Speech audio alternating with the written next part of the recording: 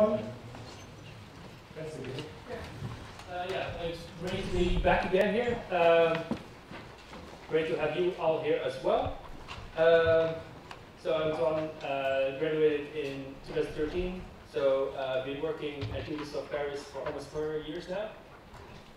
And uh, I'm going to present you some of the stuff uh, from Ghost Recon Wildlands. Uh, so first off, let me show you a quick uh, teaser video to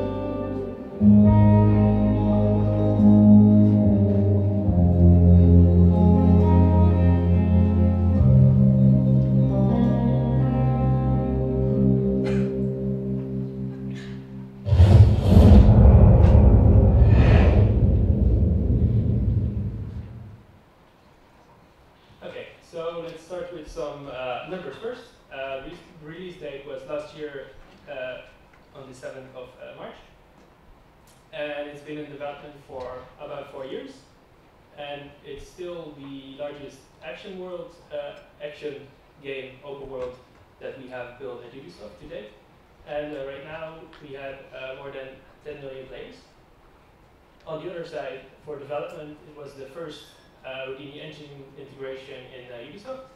And for this, we actually built a completely new uh, Houdini uh, tool uh, team to actually uh, produce it.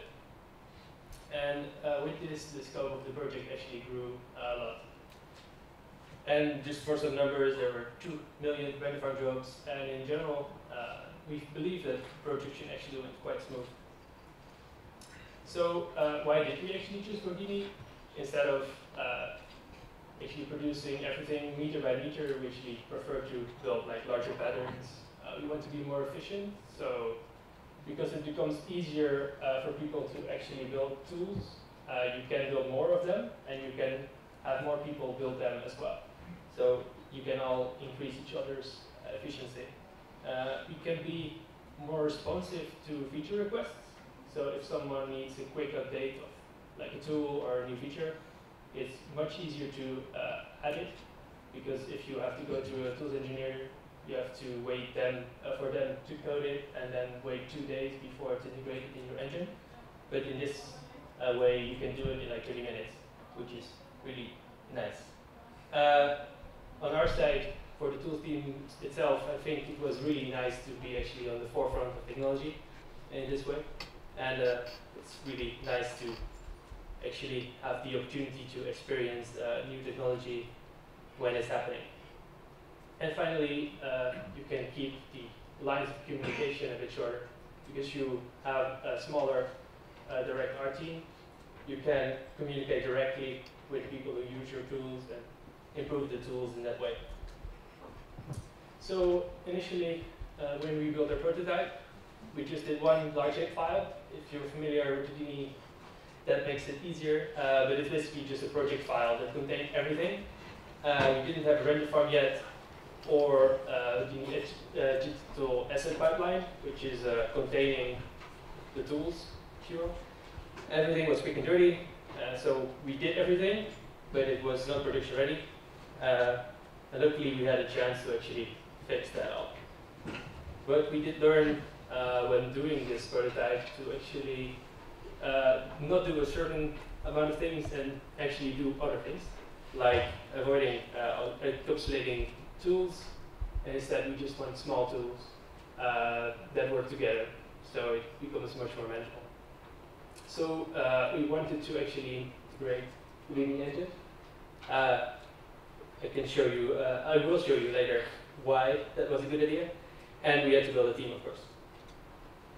And on the other side, because it was the first project that actually used the Houdini engine, it uh, required a lot of convincing.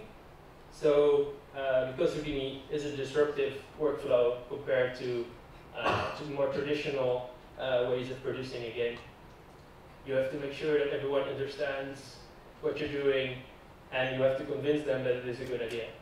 Uh, and keep doing that until it's done, basically. So, uh, what is a Houdini engine in our case? Uh, we had our first functional integration after three months, uh, and even after the project, uh, we're still working on it to make it better. Uh, so Houdini engine is basically the replication of the Houdini interface in our Anvil Next engine. So we can use the same controls that you can use uh, in Houdini parameter, uh, in the Houdini parameter window, directly into the engine. Um, so during the project, we went from Houdini 12.5 all the way to 14.04. Uh, this was not at the most opportune time when we did this. Uh, some people were on holiday. Uh, it was right next to one of our deadlines. But we pulled through, so we're quite happy to be here. Um, and right now there's a lot of things we can actually uh, manipulate uh, with 2D. Almost everything, and if there's something we cannot do yet, we can actually just ask. We have specialized engineers first to uh, build our integration. So uh, for the pipeline itself, uh, Houdini engine and Houdini itself is not enough just yet. Uh, we also need some tools to actually communicate between the engine and our render farm, our submission process.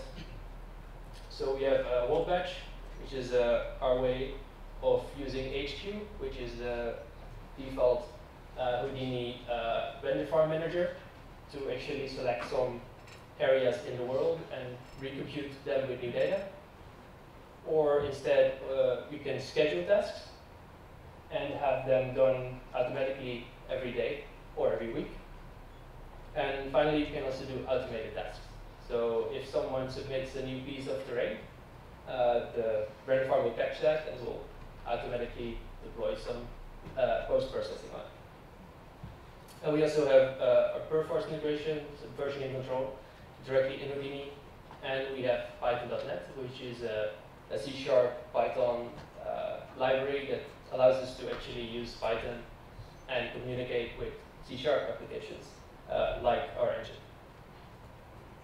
So here's a diagram of some of the stuff that our engine pipeline does.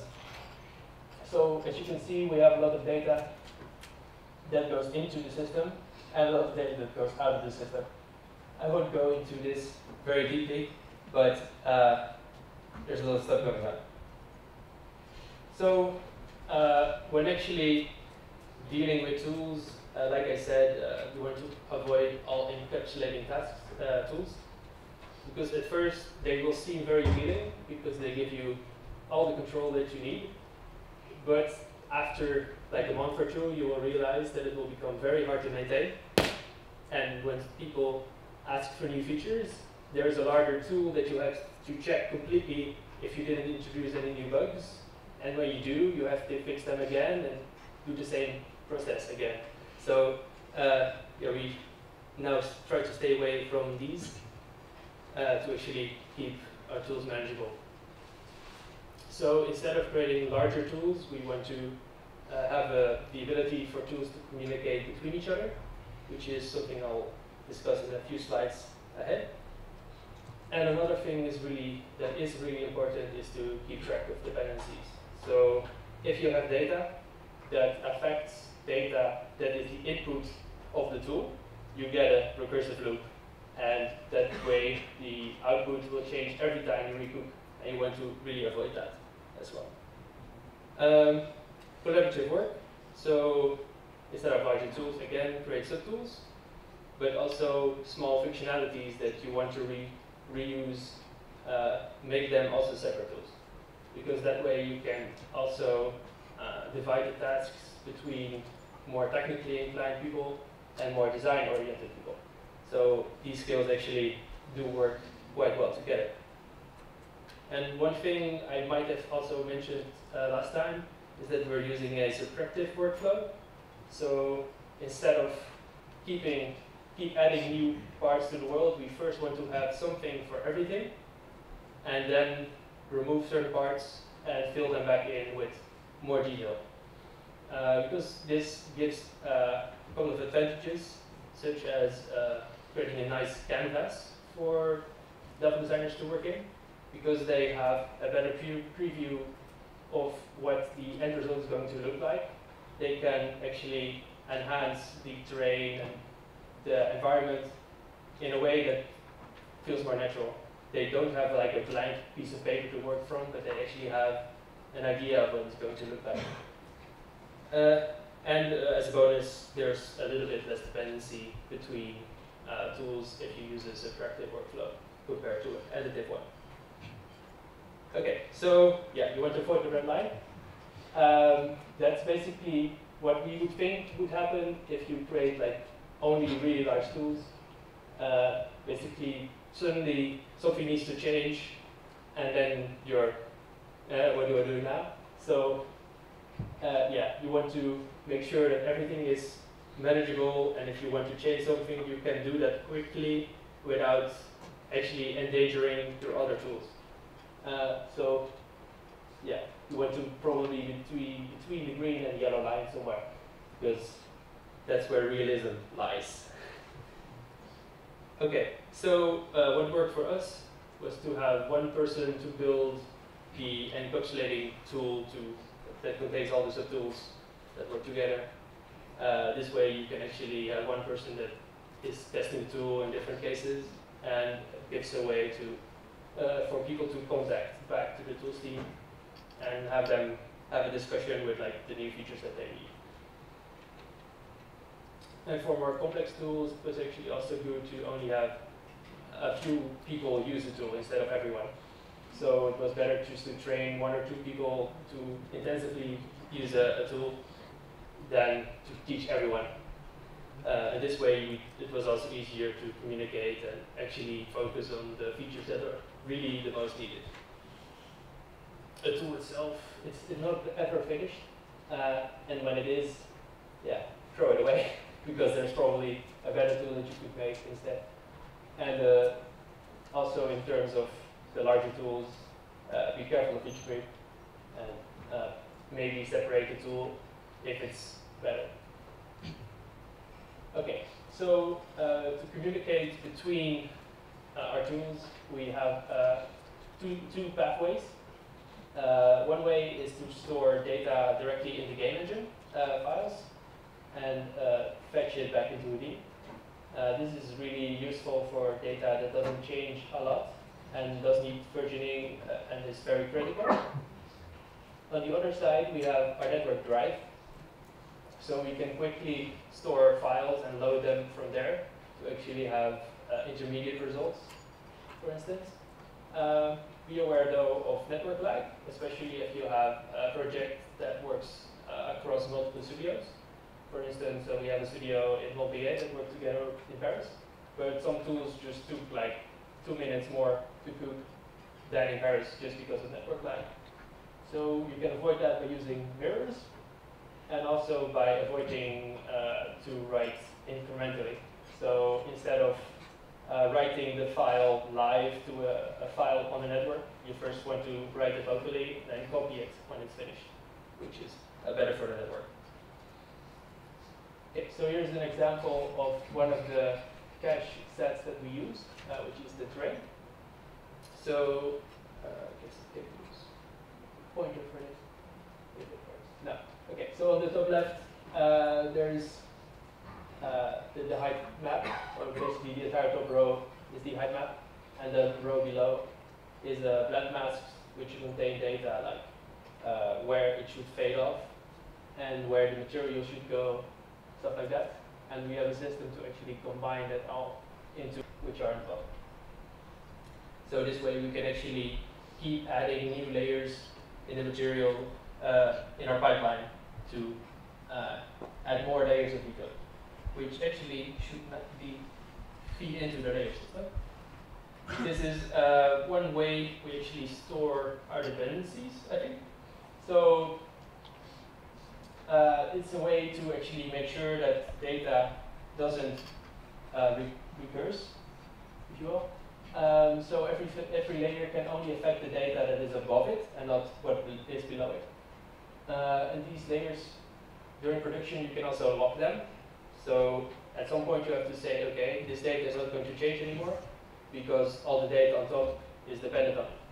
So, and of course, build some safeguards in case something changes again, because that will obviously always happen. So be careful. Um, so with this kind of pipeline, it is possible to recook some of the data that is lower that is that is at lower levels, uh, but of course you might lose some manual tweaks. So you have to inform everyone that if you are going to do something, that they will also have to do something else. So to give you a more visual representation of the system, I have another more which you might have seen if you've seen our GDC talk. The audio is not working this time. Oh wait.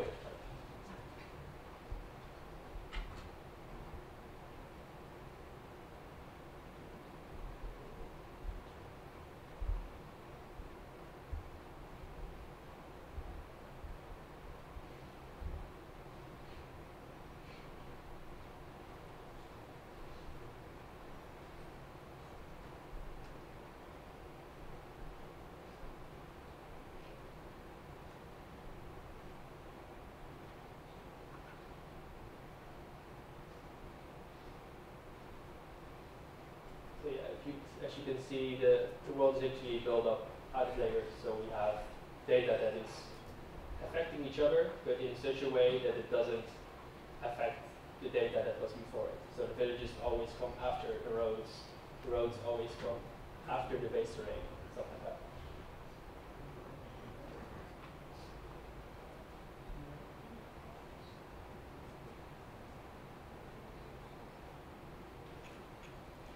Okay, so that was all the stuff that was planned, but uh, during the production we actually did a lot more than we initially planned. So because we have had access to all this data, we had the option to create even more data. And sometimes you get some stuff for free. So yeah, some of the stuff uh, we actually had the chance to add almost for free, well, almost, was stuff on the left. So, uh, for instance, you have the, the game map, and the mini-map was actually just created completely with by fetching all the data, like where the villages are, where the roads are, back into Houdini and actually create it. Another thing we actually managed to do was use a pathfinding algorithm over a road network and actually search where all the town names were and actually automatically create the uh, entire uh, road signs with all the village names uh, on them. I was quite happy about. Okay, so it also went more than visual. Uh, because we cannot leave certain departments behind, uh, if you just only uh, allow the art team to use uh, procedural approaches, uh, some people are left behind. So in this case, the main example is the audio team. So because every time the terrain changed, all the Houdini tools were quite easily adapted but the audio team still had to redraw all the zones uh, where the audio would go. And we thought that was problematic and also unfair. So uh, we had a, a, talk with them and actually designed a system that uh, allowed them to use uh, rules that actually were outside of Houdini and use them and actually fetch where all the trees were, all the water, all the terrain, and actually generate an audio map from those rules and that data. So when did we need to stop? Uh, well, initially we thought, okay, we've got to stop about six months before the uh, end of pre-debug phase. Um, this would give us additional six months to actually hand polish everything. Uh, although in the end we decided not to, uh, so we went all the way until the debug only stage. Uh, this way we could uh, just refresh the top layers of our data and actually help with polishing. And this again was only possible because of our layer approach. Uh, and even after the, the debug only phase, uh, phase, we still helped with actually creating debug tools, uh, such as uh, a world density check for triangles. So you can see that one on the right. It's actually uh, a heat map of how many triangles there are in the world. And this would allow us to identify possible issues with streaming, uh, performance issues. And that also led into the LOD multiplier. So for instance, in a dense forest, uh, the LODs would scale down faster because you could not see as far anyway, but that would keep the performance a lot better. Other things we did was like checking for floating objects. Almost every project has to do things like that. Another thing we did like near the end was a rock cavity fix. So uh, because of the procedural placement of a lot of rocks, we actually had to be quite careful that the player could not get stuck in between the rocks. So we had a, a system that analyzed all the concave shapes uh, in the rocks and actually placed additional rocks on top of that to make sure that the, uh, the amount of places where the player could get stuck was, was greatly reduced. So, so feedback from our users, uh, most of them were quite happy uh, with our Houdini work and our integration. But uh, of course, uh, people don't always want what they say that they want. And some people are not as informed as you would like them to be. So keep uh, talking to people and uh, keep uh, informing them and helping them understand what is possible and how difficult it is to build something. So that way you can uh, have realistic expectations from that. Also, yeah, don't build a tool when it's not necessary. And I guess most questions uh, with Houdini can always be answered with yes, but. So uh, don't say yes too many times, uh, but uh, yeah, make sure that everyone is at least comfortable with the idea of Houdini being around. Okay, so of course there were also some complaints. Uh, first one was probably performance. Uh, this was mainly because of the integration of Houdini engine that added like a couple of extra seconds every time. Um, eventually we got it down, so it got better.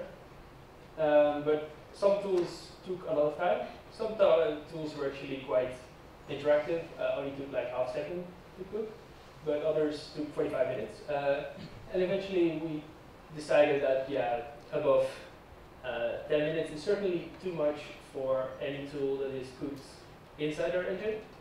So we'll add a system uh, for the users to send the, those tasks to the render farm and then get the result back. There's also a special need for more interactive tools, which I will talk about a bit later. Um, you have to make sure that certain tools that you want to be cooking fast, you have to avoid using certain features uh, and have to balance always uh, the features that you would like and the features that you really cannot go without to make sure that your cook times are less than a second, I would say. Memory usage can also go quite high, uh, especially when fetching a lot of textures. Uh, this led to our baseline for RAM uh, being 64 gigs on almost every PC in the entire project. Luckily, there's always room for improvement. Uh, after thinking about certain things, replacing some uh, logic with uh, optimizations, uh, usually you can get, a, get results of uh, cook times halving or better. And uh, of course, while you're working on the project, you also learn stuff yourself, which makes stuff much better. And of course, the amazing support from SideFX that has new stuff to actually use for optimization as well. The other thing was UI. So the integration uh, in our engine was actually quite fine, but it did lack some of the functionality, such as handles. So there was no uh, Houdini integrated uh, way of directly interacting with tools in the viewport, if you will. Um, so yeah, that's now on our, on our roadmap. And uh, the other notes is that visual feedback is always needed, and it's especially nice if it's quick. So always add some functionality to uh, allow people to know if they're doing something wrong and how they can improve their result. Um, and like uh, Atepa team also said, yeah, we're uh, game dev, not tool dev, so make something that's useful for game developers, not for mathematicians. Uh, sometimes you just have to uh, think about your UI and do not expose everything because it's usually not needed anyway. And it's also uh, making the tool less intimidating. And of course, have proper documentation and have everything make sense uh, in terms of parameters, stuff like that. And uh, yeah, so if you have documentation, you can of course say, okay, please read the documentation first, and then come back to me. Of course, I will help you, but I'm also busy with something else in the meantime. So for a community, uh, in 2011, uh, there was one Houdini engine for the entirety of Ubisoft game development. Now there's over 100 if you include Houdini engine. There's strong efficient uh, support from SideFX. Uh, in Ubisoft itself, there's a growing community, and it's, it's quite nice to be in the middle of it. And uh, we have a lot of very well-trained students, and many actually are from NHTV. So, congratulations on that. uh, so, quick conclusion, yay, it worked. Uh, we never really broke the build, okay, maybe once. Uh, make sure that you keep communicating all the time.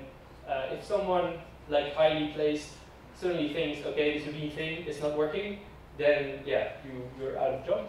So make sure that you communicate always if you expect something to go wrong, fix it, but also tell people about it. Uh, and uh, yeah, keep in touch with people and have them learn a bit of um, what to expect from Houdini. And of course, uh, spend some time to look forward. It's always, it's almost always better to uh, think about what you're going to do instead of just jumping right, right in. Because if you jump right in, you usually create something that works in the one case that you test, and then it's not scalable. So think ahead. So uh, what do we do now? Uh, we want to move to 16.5 and we need 3.0. Uh, well, it's already 3.0 now. Uh, go even bigger, have our pipeline consolidate uh, and refactor our tools. So this means um, making the tools more scalable. Uh, we make it easier uh, for the tools to read from different worlds at the same time, have better stability, so it, yeah, it's more stable, of course. There's less edge cases, stuff like that. Uh, we want to actually move into SFX as well. Uh, it's quite an obvious direction for Houdini, but in our case, we actually didn't do a lot of SFX uh, with Houdini just yet for uh, wildlands and uh, keep exploring new solutions. Okay, uh, I'll now give uh, the presentation uh, to Pierre, who will talk us through different set. Thank you,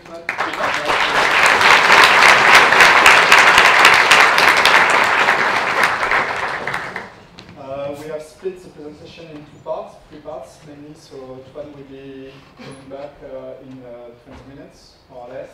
So if you've got questions, uh, we will um, do everything at the end, so keep your question, and then we will do it for everyone at the end, right? So um, now I will talk about uh, Watch Dogs franchise, and uh, I will explain how we use procedural stuff uh, to help the production. So, procedural opportunism in Watch Dogs 2 world. Um, there's two names, but I'm just one guy. Uh, Cyril Masquier uh, was uh, doing the presentation with me. Uh, he's our technical artist director uh, in Paris uh, for Watch Dogs. And me, my name is Pierre Villette. I'm working at the studio since eight years now. And before, I was working for the movies industry and the advertising industry. So for me, Ubisoft is the first video games company. Okay. Uh, Watch Dogs 2 World, what it is. So uh, it was released at the end of uh, 2016.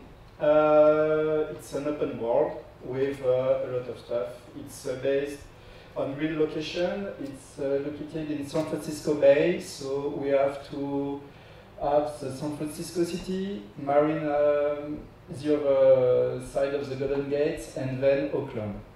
Uh, so let's uh, jump into San Francisco a little bit. Hey, I'm Marcus. 80s film buff, idealist, hacker. And this, this is my home. Oh, blue screen.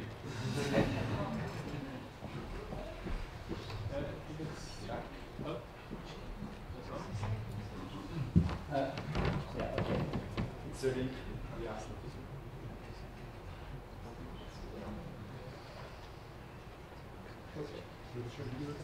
yeah. Uh, I'll go back just a few seconds. Okay. Let's go. And I will want to move the computer. One more. Maybe off. Ah, yeah. Like this. This is my hole.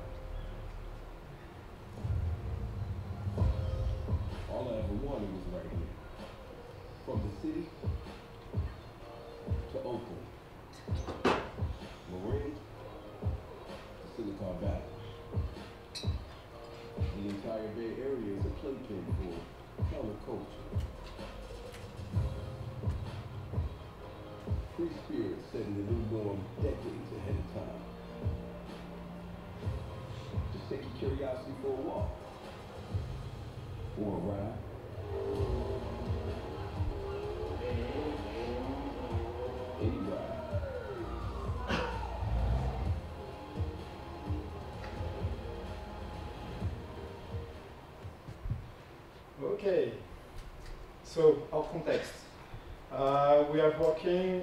Watchdog since uh, Watchdog 1 uh, in Paris.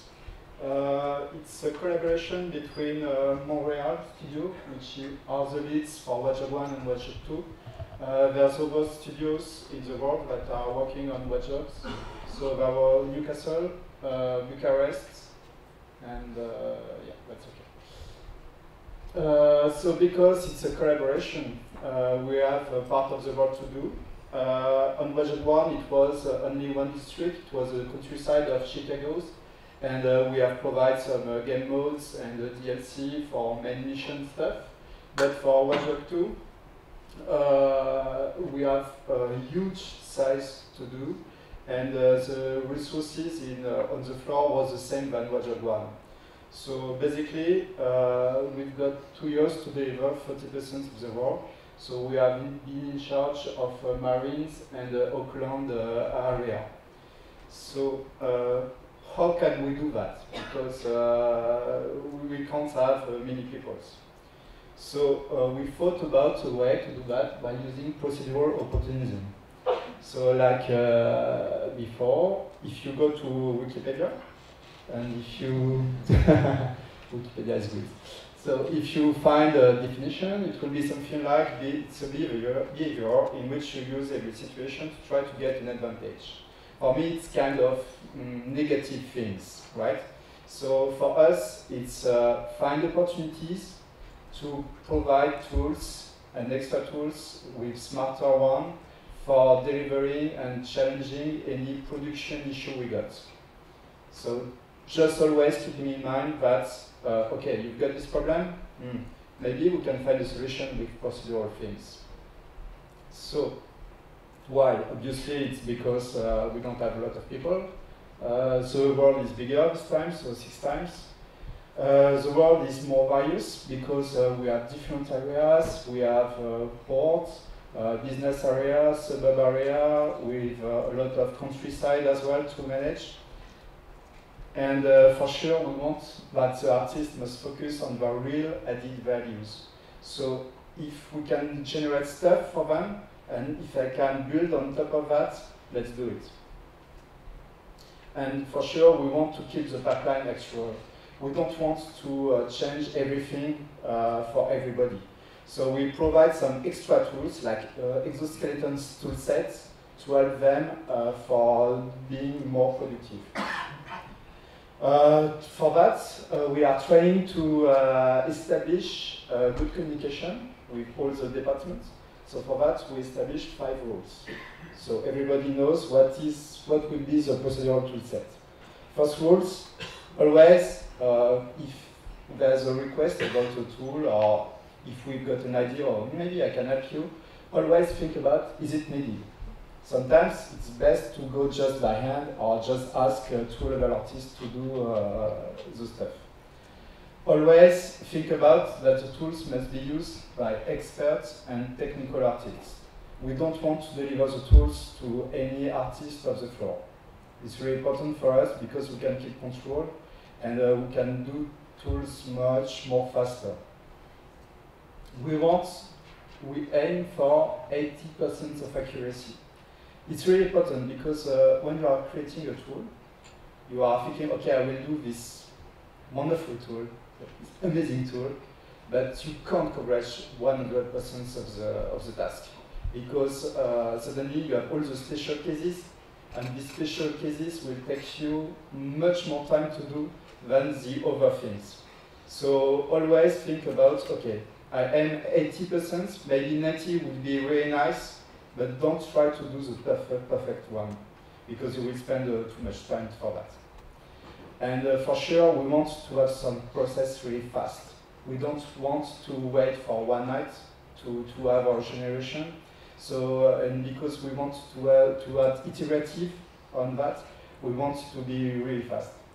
And uh, yeah, iterative and correctable. So it must always be editable by hand. Uh, we don't want we don't want that level artist uh, stay in front of a screen and wait for minutes, minutes, minutes to have something. We want for them that it's quick. so what did procedural opportunism give us to us? Among other things, terrain generation, roads and cliff system for Marin and uh, countryside of San Francisco, uh, we provide audio toolsets as well for the audio team uh, and the spawning entities, data analysis, VFX using Houdini. Terrain generation. So, uh, because uh, at Ubisoft, uh, normally we are working always uh, with in a real location with emphasis for landmark and, and buildings. Uh, we want to, to have a shape that is more or less near the real life, but for sure we, it's not the same size, same dimension. Uh, the road exists. Uh, it's done by our level designers, and we don't want to change them. It's really important because uh, Watch Dogs, it's uh, video games about cars, so we want to be controlled always by, uh, by hand, by level artist and level designer. So we are using World Machine, and what we have done is basically what uh, Sven explained before is uh, we are working with layers. And so we have a first shape of the terrain, then we, we give it to the artist, then they add the level design for the roads and uh, placement of landmarks. Then we process again into World Machine to have the erosion stuff, and then we send them back, and then we take it again, and uh, it's like a layering uh, stack of process. And what we did for, for Watch 2, it was the first time that um, we produce seats for the multi-seat. So we produce it for, uh, some, for uh, uh Montreal and for uh, Bucharest as well. So here's some uh, sneak view. Uh, so the town, and for sure all the countryside with the roads and uh, everything. So it was a generation the services and now what we have done for rocks. Rocks is always uh, in every video games uh, big topics. Uh, so we have uh, just tried to keep uh, as uh, lower as possible.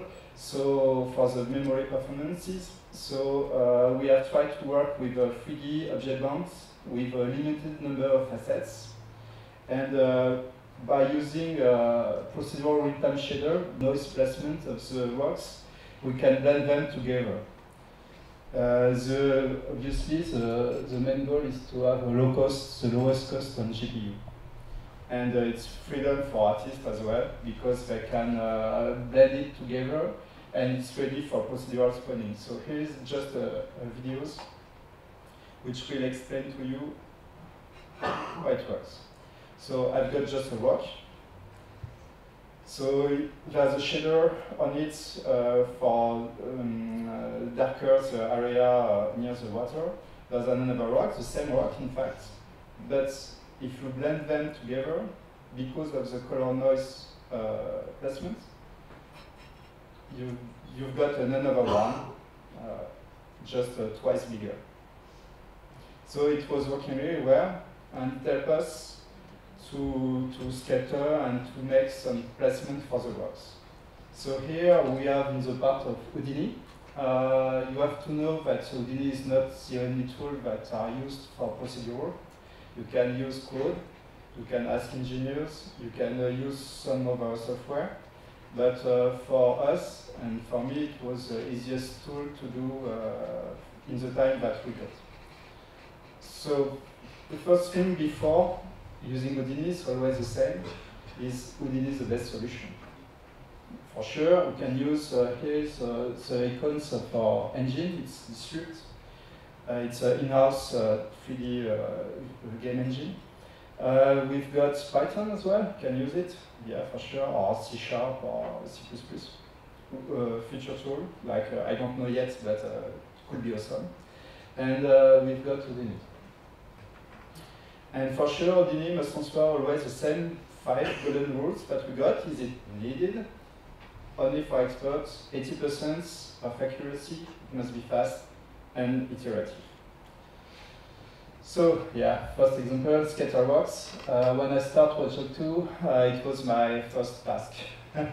so uh, after that, we've got some vegetation system generation, world polish pass, lighting supports, for cube placement because on uh, Watchdog 2, uh, the reflection was done with uh, cube maps along all the road networks. And uh, I use Houdini for that. So it saved month and month of uh, hand placements.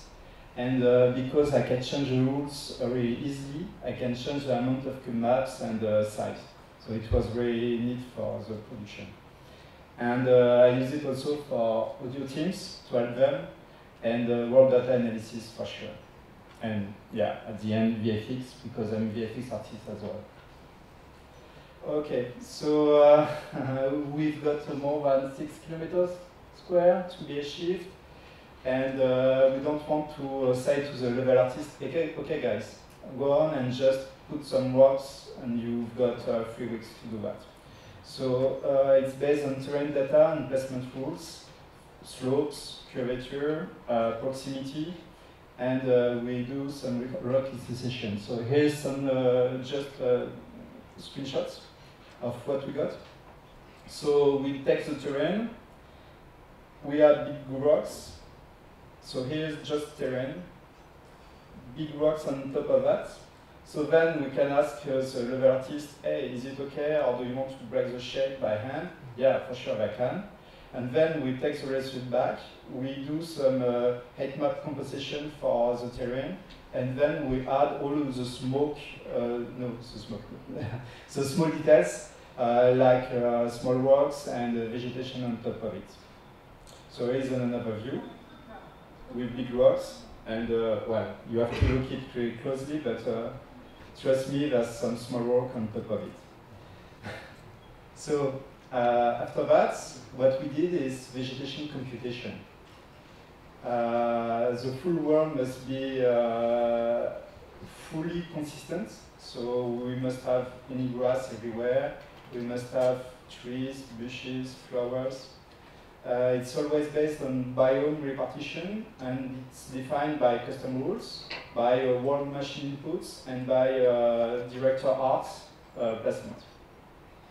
Always must be an iterative process. Uh, we want to be easily modified by hand if we don't want a bush here or a tree there. So here's just a screenshot to explain. I've got just vegetation placed by hand for the moment, and then uh, we scatter biome repartition uh, with grass, flowers, and, uh, and trees. So here's what it works by layer. So we've got an area with uh, trees placed by hand. We've got this map uh, sent to our art director, and uh, he drew on top of it to say, okay, this area I want some redwoods, this area I want a cactus or everything. Then uh, we use Houdini to uh, instantiate different area with a different biome, layer by layer. So from priority one, priority two, priority three, and priority four. And then what next? Because we know all the world data, we can uh, avoid and exclude everything where uh, we don't want to have vegetation. And on top of that, which is nice, uh, artists can do some manual exclusion. So if we have to regenerate everything, we do it, but we can keep the manual exclusion. So we keep the level artist work, which is very nice for, for everyone. And we obtain this.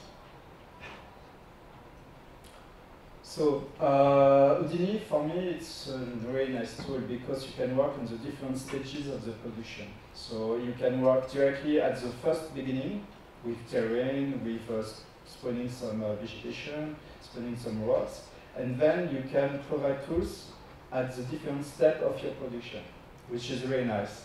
And for the wall polish pass, uh, we have tried to help the artist to add details into the wall. So here it's just uh, a business area of Oaklands and uh, how to add details on this kind of picture. We, we can help them to add details by uh, spawning decals. So decals, what are they? It's graffitis, cracks, dirt, dead leaves, and everything is populated by this system. We can use area qualification, so we won't have the same graffiti if we are in a business area than in a suburb area or in, in the port. Uh, we have different uh, density of cracks depending of the qualification of the district. Uh, we can drive uh, a lot of rules with that. So okay, we've got graffitis, but hmm, what next? Uh, we will add also vegetation on a non-terrain area. So we have to find all the places where the primitive have got some grass material, and we can spawn some uh, some, some uh, grass object on it. And uh, which is nice with the tool is also we can avoid overlaps because uh, transparent overlaps for video games is nightmare. So for free we have a tool that spawn directly everything and then we can control the, the um, objects which are inside uh, over one. And my next, the next part, it's uh, ground occlusion. So we apply on static objects uh, on the terrain a darker area. So for free we obtain this, which is quite nice, and then we can uh, use everywhere uh, to help artists. So here is another topics, audio.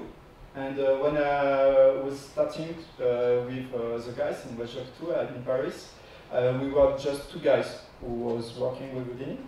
And uh, Mathieu, uh, our audio designer, start to, to look at uh, what uh, Twan and uh, his team is doing and uh, what I'm doing with Houdini, and said to me, hey, maybe I can use it for my task because I've got so much repetitive tasks to do, and uh, it's always depending of the work. If I can uh, just provide some data every week, it could be great.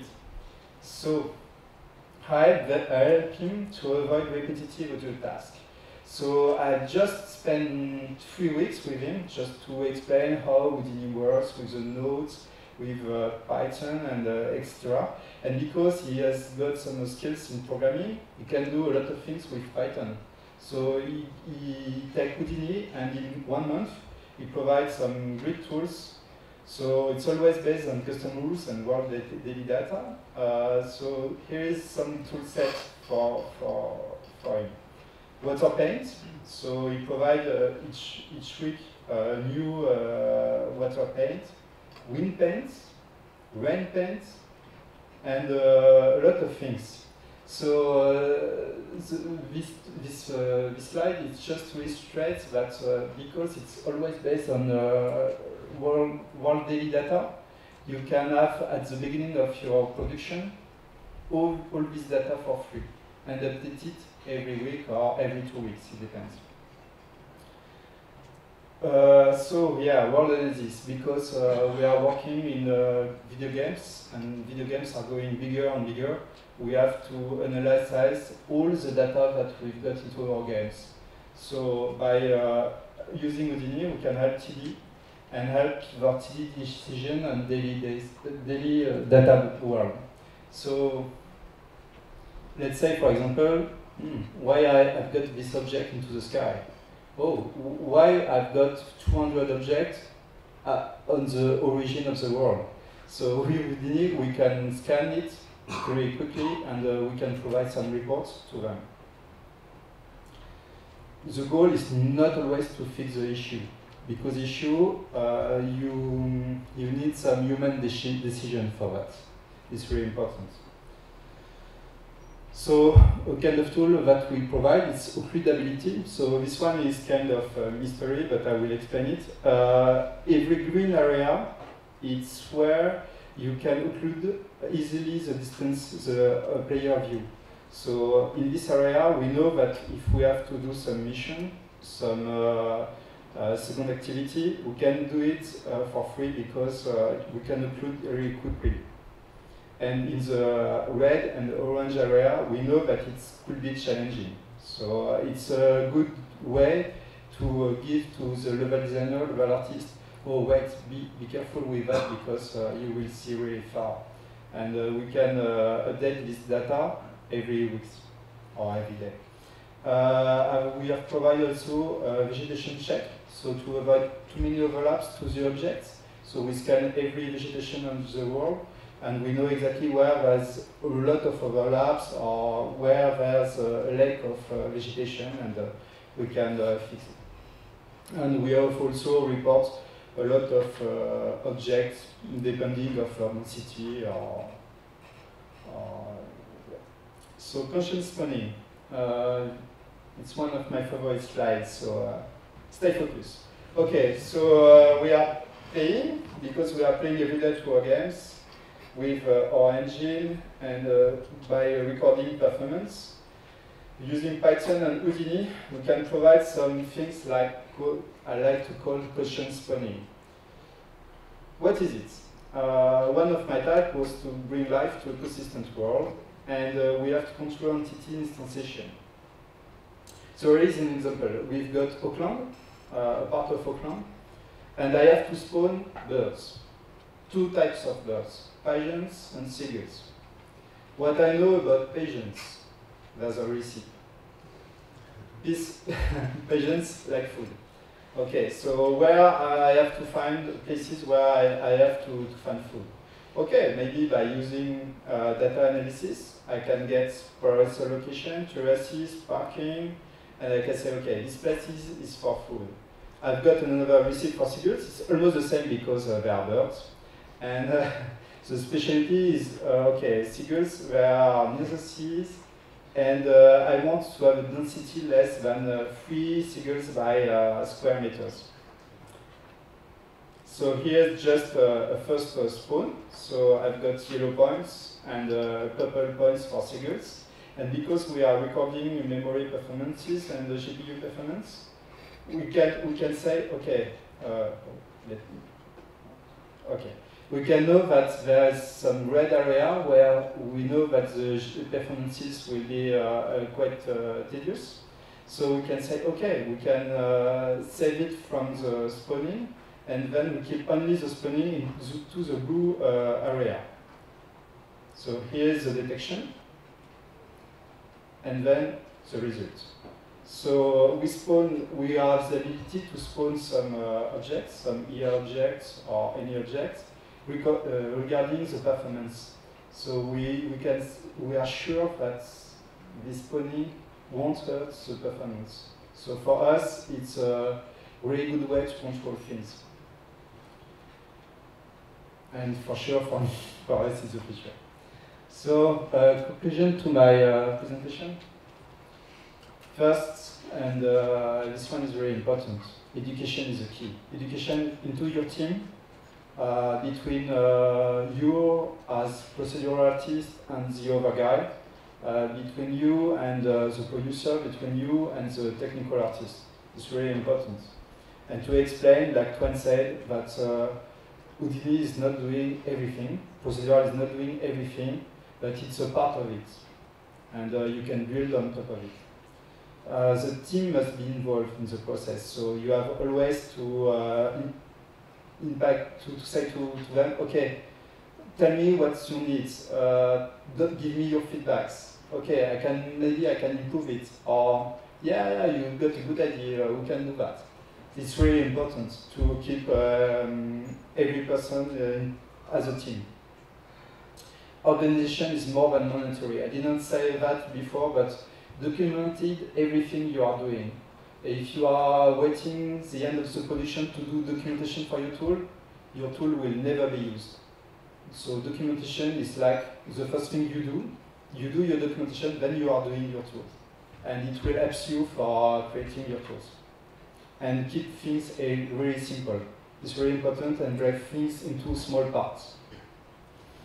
So for us, uh, for sure, opportunism was a safe path, path to procedural. And uh, I do believe that we will uh, do it uh, more and more. Thank you.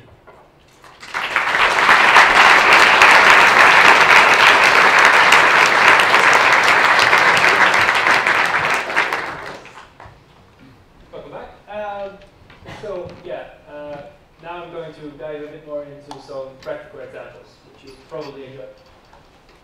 Okay, so uh, instancing, we all probably know what it does. Uh, I'm going to explain it anyway. Um, in our case, we just mean uh, reuse of meshes from GPU memory. It's basically to get a lot more triangles on the screen. Uh, almost every game engine uses it, and uh, almost everything can be instanced, and it's more efficient if it's a lot of the same object. Uh, but apart from this, uh, instancing can also uh, educate, like inform how you are actually building your world. And that is what I'm going to talk about next. So how can we use stylable assets to uh, and enhance them with proceduralism? So uh, for this, we invented the term procedural kit. So what do we mean by this? Uh, it's a tool that generates a pattern, and this pattern can be a singular pattern or a repeating pattern. Uh, procedural kits are uh, built with user experience in mind. So we want them to be uh, cooking relatively quick, and uh, we want them uh, to be used to uh, do more creative and less repetitive tasks. We often use curves to guide the user or have the user guide the tool how it works. It has to be smart but also flexible. So uh, it's best if it is aware of the surrounding that it is placed in. But if the user uh, uses a small tweak, we also want the change in the result to be small. So it has to be adaptive as well. Uh, as a bonus, uh, watertight connection is not always needed. For instance, if you look at uh, certain games which have tile sets, uh, they have like uh, a grid-based uh, approach, so they have to be in a grid. Uh, and in our case, we wanted to build a system that doesn't actually require uh, objects to be placed in a grid like that. Okay, so I'll show you a quick example of one of the tools that we built with this in mind. So this is uh, our uh, editor Nvenx. Uh, right now, this is uh, our Houdini engine integration, and I'm just placing our wall tool in the world. I'm attaching uh, a curve to the tool, which I can now just draw, and the tool will figure out how many wall pieces to place, uh, add some variation in there into the tool, and now you can actually see that even if the curve is above the ground, the wall will still know about its terrain height, so it will snap back to the square. Unless you say it shouldn't, of course. So uh, there's a selection menu to go through different wall sets. Uh, let's add a, a gate into uh, the wall as well. So uh, we wanted this process to be as like user friendly as possible. So you can just add a point and specify the size, and it will automatically create a gate and place the pillars uh, next to the, the size of the, the side of the gate. And some wall sets, instead of having just a hole in a wall, you can use a, a portal uh, instance, which will be automatically placed as well. So you can go again through different wall types, through some of them. So as, as you can maybe see that some of the wall tools are, uh, wall sets are horizontal and some actually follow the terrain. So we can actually also include that into the, the base rules of the, the tool. And just to demonstrate like how it is um, aware of the terrain, if I move this point on top of the road, it automatically places a gate because the system is aware that there is a road and it probably shouldn't place a wall on top of the road. So we'll try to adapt. Okay, so, oh, okay. there you go. So how does this compare to manual placement? Uh, of course, there's lot, some downsides. We have to give up some amount of control. And to actually make these tools work, you have to have a lot of communication between the art team and the tech team to make sure that all the models have the right sizes, the pivots are placed in the right place, the orientation of the objects are correct, stuff like that. And uh, of course, it requires a small initial time investment before you start to see some results, but it's almost always worth it. Um, the upsides are that you uh, can have more variation with the same art, because if you have a wall and a wall segment and you split it smartly in uh, multiple parts, you can reuse these uh, modules in a more uh, varying way.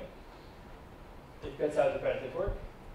You can have more consistency because uh, you can actually build in rules in the tool to actually enforce some metrics. So uh, your designers and your programmers uh, can give you certain rules that certain walls should not become higher than a certain amount just so it works with the lane navigation, stuff like that. And that way you can prevent user errors. So have it adjust to the environment, like in video. Uh, subparts can have gate logic. So because there are small parts, you can actually put logic on the parts. So if you want to drive through a wall, it's easier if the wall pieces are destructible instead of the entire wall, because then you have to, on top of the wall, also create a unique uh, destruction uh, effect as well. And finally, you can uh, afford to create smaller tiles. Because uh, if you have to place the wall by hand, it's convenient if the pieces are big, because then you have to place less pieces. But if the placement doesn't actually cost you any time, you can have much smaller pieces, which allows you to have uh, more control. And you can uh, have lots more, uh, you have more flexibility in how you use it in a Houdini tool. And as a small bonus, you have less uh, mesh compression artifacts. So because the meshes are smaller, you're closer to the pivot of the object, you can compress uh, the meshes a bit better. Okay, so here's another example. in this case, uh, a bridge generation tool. Like initially, it will follow mostly the same logic. So you place a curve uh, across the, uh, the bridge. And because uh, yeah, we built this tool with user interaction in mind, we wanted to be able to quick, cook it quick. Of course, it sped up a bit Uh, because of like how much thinking uh, I was doing. Uh, you can see also that there was a pre-selection menu in for what kind of bridge, and that it was uh, using a border only, and now it's using a one width border you can specify the width, which will automatically adjust the pieces in the middle of the bridge, because it will try to figure out which piece is the closest to the piece that I would want. So I'm just going through some of the types of bridges that we made. And some of these actually use uh, the same pieces together with other pieces. So you can actually, if you have multiple pieces, you can create even more variation. So uh, in the end, we choose one with a sidewalk. Uh, we can do some more tweaking to make sure that the ends line up nicely. And it's actually an advantage because you can tweak both sides of the river individually. You don't have to go to the middle of the bridge and then rotate it until it finally fits, which you can just create a unique bridge on the screen. Um, so just to give you an idea of how many instances these actually are. So these are all individual pieces. And that way you can actually have uh, actually a bridge that follows a curve quite nicely. So if we actually make the curve a lot more complicated, the bridge will still adapt just fine. And that is because we uh, made small tiles. And that way the angle between the pieces becomes smaller, so you'll have a continuous result still. Okay, so now let's go a bit more crazy. I just added this for the demo. Um, so on top of that, we could also add a curve to adjust where the bridge goes up, so you can create uh, a nice skate ramp, for instance. But yeah, it's a bit crazy. So um, by default, it will follow a, a NURBS curve in terms of the, the smoothing. But if you want to specifically straight bridge, you can do that too. And here you can actually see that the parts are stretched because uh, this bridge type only had uh, one width specified as a model. But if you put it back at the right size, it actually looks quite nice. And it's one of my favorite bridges, I think or the bridge types at least. Uh, okay, so how do we compare it to procedural modeling? So again, there are some downsides. You don't have like literal infinite variation because you actually want to avoid creating uh, many unique meshes. Uh, that's what this thing is for. But repetition can be noticeable. So if you don't have enough part variation uh, and you don't really use uh, smart flipping or rotation, of, uh, of your parts, you can see repetition eventually. Uh, and you need to prevent gaps between the pieces. So you can do this by having smaller pieces, so the angle between the parts becomes smaller. Or you can use uh, some procedural modeling to actually have a simple mesh that fills the gap. Or you can have special uh, pieces, for instance. The upsides are better performance because it uses instancing. So in general, that's better for the GPU, your RAM, and it requires less space because you don't store unique meshes. You have more uh, control over the visual direction, especially on small scale. Because if you have to talk with your uh, visual art director and he says, yeah, can you tweak this thing? And then you tweak it and then everything changes. But if you can go to uh, like a props artist, you can say, can you tweak this module? It's a lot uh, so that allows us also to split the work between tools and art, so we can focus on our best skills. And uh, for for example, uh, right now it's still a bit easier for artists to create UVs if you want to use uh, a pre-generated texture, for instance. And you, since you only have to do it once anyway, because it's embedded in the instance and not in the tool, you can do it that way and because you're working with point clouds uh, instead of meshes, uh, the generation times are also uh, faster. So uh, that said, uh, we're still using procedural modeling too. So some examples we use it for are performing stamp meshes, the water meshes, prototyping tools, debug tools, to render our textures, and for building shells, which I'll show you now. So this actually is uh, a tool that kind of demonstrates the uh, advantage of using metrics. Like it's a very uh, bare bones tool uh, right now, like how it looks. Uh, but you can quickly specify the, uh, the size of the building that you would like, and it will automatically adjust the values if the user puts something in that the designers did not account for. So the buildings always have the right sizes, you can easily add uh, an additional floor, and you can start adding uh, doors and windows. And the advantage of doing it this way is that the doors uh, are always placed the right uh, distance away from the corners of the buildings, and the windows always have the right height above the floors. So it works with your game cover mechanics, stuff like that. And uh, after some tweaking, you can just copy the result from the bottom floor to the top floor, and then uh, tweak it again.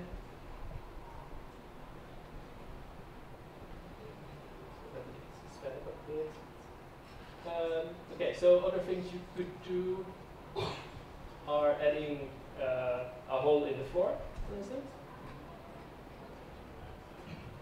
So you can there. Put uh, a stair module uh, that goes between floors that has the right size uh, predefined.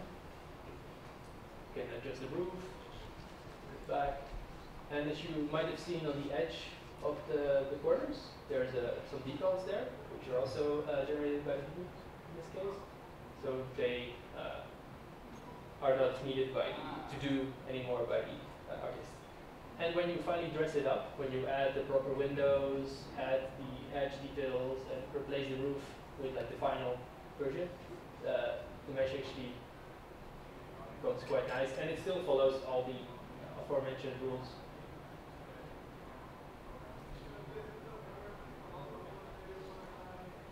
So, uh, I would like to thank you a lot. Uh, thanks to the team, thanks to the amazing tools team in Paris and in Montpellier. I would like to also yeah, invite you back on stage. And uh, we're really happy to answer some of your questions.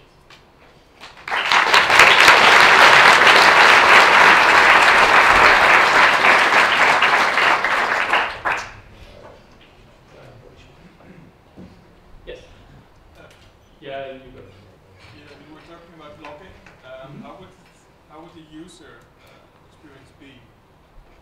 Ah. Say something is locked. Mm, yeah, so, so we have to communicate uh, directly to the, the team that would be locked that, okay, you cannot change this data anymore. If you really want to, uh, let us know. Uh, we find some kind of hack or we'll uh, do it in a way that is safe enough. But yeah, uh, that is how we experience it. And certain, uh, certain things we can do is uh, just disable the ability to launch certain jobs to the render farm, stuff like that. Yeah, who manages your tool production? Is that a lead or is there a specific? Uh, uh, well, usually we just uh, we have a, we have a core team that actually asks us uh, like what types of tools uh, to build. To build. Uh, we have we have lead of course. Um, that's one. Uh, you might have seen him on uh, GDC talk as well. Um, so yeah, we have to constantly decide what priorities are, uh, what's the best stuff to build, and who should build it. Uh, but it's a bit of an organic process. We just communicate and try to figure out what the needs are and what we can do. But, yeah. How much of the mission setup is procedural for so for the for the gameplay, for the designers, for the encounters? Is that placed randomly or well, so not randomly, procedurally, um, or, or or is that much more manually? Uh, most of it is manual. Um, there are cer- certain types of events that are procedurally based. Um, uh, there's actually one, I think I presented that two years ago as well. So uh, based on the roads and uh, including uh, all the uh, collision objects, we have a system that scans all the free space that can actually uh, spawn some random events if the environment allows it. Uh, but most of the uh, like the mission content is all endless. Can you explain a little bit more about the subtractive uh, work workflow? Okay, um, so yeah, uh, what we do, for instance, is uh, in also the layer layer process, for instance, uh, we first build the base terrain using World Machine. Uh, after that, you add just vegetation for the entire world, not taking into account missions, anything. And after that, you start to draw exclusion curves, uh, texture masks that can occlude uh, certain things. And then you start to work in the occluded uh, areas, either with procedural tools or, or with hand tested. So that's how that works. Um, yeah, you showed lots of tools with uh, CSV files. Yeah, do you see that? And, uh, who uh, creates those CSV files? Okay, yeah, uh, so that's usually would be the person who built the tool, I think. Uh, but uh, I will explain to them, for instance, uh, like if they, if I think it's useful for them to be able to change it, I'll explain how it works. And uh, and sometimes it's easier for me to train someone uh, to take care of that so I can focus on other things. Uh, to what extent is everything pre-baked or, or cooked, or do you still do some stuff in real time to save memory and usage? Okay, uh, so Houdini Engine is not capable of real-time generation in Engine yet. Uh, so everything is baked. Uh, yeah, we, we still have our um, in, uh, GPP uh, gameplay programmer team that still has some uh, real-time generation, but it sometimes sources from pre-baked data, and sometimes they just do it themselves. Actually, following up from that, so you have some examples of gamers doing the, the weapons and rocks, for example. Do you, do, you do uh, deformation of the rocks as well? Uh, no, no deformation. Um, we can add it with vertex shader, uh, for sure. But for needs, uh, it, it doesn't be uh, necessary. So uh, we only keep uh, color and normal uh, as well. So that's it. But uh, yeah, it's a good point. Maybe for the future. Uh, how did you affect for uh, uh, weather and uh, other effects that could happen uh, dynamically in the game? Okay, um, Uh, is it for both? I think. yeah, because it's different. Uh, yeah, for Watch Dogs, uh, the weather is um, directly into the engine, so it's uh, based on time of day. So uh, we've got some uh, weather presets, and uh, it changes uh, depending of the condition. But uh, everything is uh, everything is handled by an engineer. Yeah. Uh, in our case, um, it's a bit above. So uh, we have uh, some shaders that are uh, can be dependent on the current weather. So for instance, the the dirt will become wet when it's raining, but there's also some baked uh, wetness, uh, like near the, the river rivers. The general ground is a bit more dark based on that. And uh, for instance, if there's instances of uh, a tap or a hose uh, placed somewhere in the world, the Houdini can actually read that and stamp a bit of uh, a puddle around it as well. In that final uh, example with the building, how much manual work should happen after what you showed? Okay, so it's a bit of a cleaning step. Um, UVs are generated by the system. Uh, it's, it's just uh, cutting the mesh in a way that is required by the, the LD team because the rules uh, for them also change a bit and sometimes the tool is not like as far in development as the other thing. Uh, but in general, we try to uh, put it in the engine, get it into 3ds Max, and then do some cleaning process, but it should be quite limited. Yeah, how, um, what's the size of the Houdini tools team? Uh, okay, so uh, for Paris, uh, that would be uh, Benoit, uh, Guillaume, Erwin, and me. And yeah, that's mostly it for, for Wildlands so far. Is that, used across the other studios as well? Uh, so yeah, right now the tools team for Wildlands is in Paris and Montpellier. And yes, th- th- that would be. Uh, the, the amount of users of the Houdini engine are also in other studios, but Yeah, sorry. Um, at the beginning of the talk, you said that you concentrated more on having smaller, smaller tool sets rather than big, all-encompassing tools. yeah. Is there? A, have you got a good example as to one of those all-encompassing tools that was better split out into small pieces? Uh, yeah, I, I, yeah. okay. Uh, yeah, I've got a good one. It's the skater stuff that uh, we have done for Watch Dogs 2. At the beginning, uh, I've got a tool, and uh, when uh, the other Houdini artist arrives in the project, Bertrand, I show him the tool, and he say, "Wow, a lot of parameters." I said to him, "Yes, but that's cool. You can control everything." And uh, after that, he started to explain to me, "Oh, maybe you can split it in uh, several parts. Like maybe for the scatter stuff, first do a tool for analyzing uh, terrain stuff like slopes, curvature, occlusion, whatever.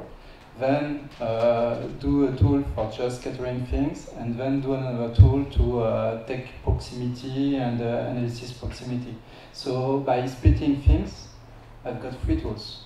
One for analyzing the terrain, one for scattering object or having some nice placement rules, and the other one for avoiding to have object overlapping each other and kind of things. So it's exactly the same uh, things for everyone. The best thing to do, in fact, I think, is to write just with some few sentences what your tool, what are the purpose of your tools, and each sentence, each line of your code must be a tool. For me, it's um, kind of uh, nice rules. Yeah, I, of course, there is a balance because at some point, after you build like 200 OTLs, it becomes also a bit of a strain on the, the versioning system. So there's somewhere like a right way in the middle somewhere. How do you start the procedural workflow breaking things like gameplay and game design? Okay, yeah, yeah. So there's a lot of uh, debug. Um, we, we have some masks that automatically exclude stuff where it definitely should not be. So we have, uh, for instance, good data on where the roads are, so we can automatically make sure that nothing is placed directly on top of the roads. Um, we have some data uh, about like where the uh, manual placement for camps and stuff is. If the data is correctly filled out by LDs, we can fetch it. Sometimes stuff will break because some data is missing and the system is not aware of it. In that case, there's two things we can do, which is either uh, fix the, the input of the data so the system catches it, or we can add a manual exclusion zone uh, so the result is excluded in that area. Yeah, when talking about the, the pigeons and the seagulls, uh, Yeah. you mentioned that you exclude uh, don't spawn in areas with uh, high GPU usage. Yeah. And, and by the way, I just want to coin the term uh, profile guided ornithology. Uh, my question is, uh, do you use this technique uh, for, for spawning anything else, like uh, small crops uh, seed as well? On Watch Dogs 2, uh, we didn't have the time to do that because uh, the pigeons and uh, okay bird stuff I've done it really at the Polish pass. and then we don't have any time, but we can use it for everything, like Living City, for example, like. Uh, VFX spawning as well. I've used it a little bit because uh, I wanted to populate, to bring life everywhere, in fact, to have something in movement everywhere. So I use it for the wildlife a little bit, but uh, the wildlife in Watch Dogs 2 is a very small one, so uh, there's just uh, eagles and uh, kind of things like that. But that's all. But I, I, I'm quite sure that we can use it for something else. Uh, how did you find to reuse the tools from the previous projects in the future projects? Yeah, okay, well that's uh, part of the refactoring process. So making sure that we, because yeah, like for Wildlands, a lot of paths were hard coded into the tools, stuff like that. So we built a system to actually uh, make the the path to network drive automatically adapt to which world it would work on. Stuff like that. Uh, and then, yeah, it's a cleaning process, it's an optimization process. Uh, luckily, we had some time to actually uh, do that properly. And it's still an ongoing process, but uh, for me, the same, in fact. Uh, at the end of project 2, uh, I have plenty of tools. Even some are was really old, and I am redoing everything to have something very clear and well documented. It's very, very important. Even if it's kind of boring. You mentioned at the start of your talk that you wanted to stop tools six months before the end of debug, but it went on to the end of debug. Can Yeah. you just talk us through what those scales were? Like how many months were you in concept debug and then in full production? I don't think I'm technically allowed to disclose the exact timelines. uh, but yeah, so um, I think, yeah, so say like ab- about like a year before release, we started to lock down stuff quite quite a lot. Uh, not entirely, but but yeah, uh, you know, we started locking the roads. Uh, like wasn't like uh, one and a half year before ship. So yeah, that's it's a gradual process, but eventually more stuff gets locked and we have to communicate it. That's how it And uh, in video games, there's always uh, stages. So you've got uh, just uh, FP, fast playable version of your game. Then you go to the pre-alpha, alpha, beta, and uh, code.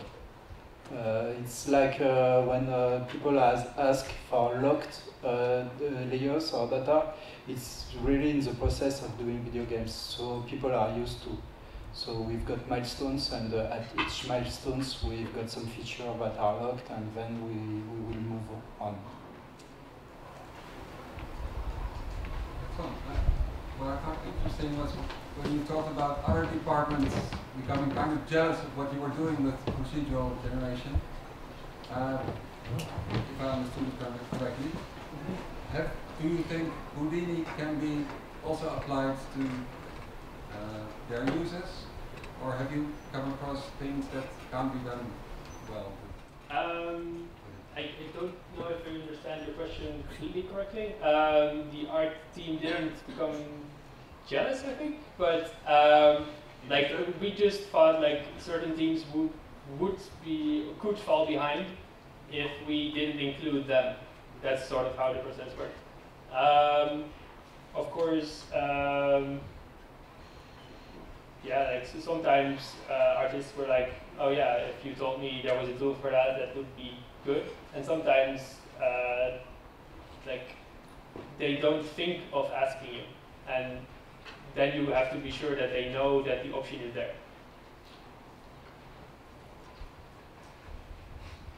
Thank you, everyone. Yeah, thanks a lot.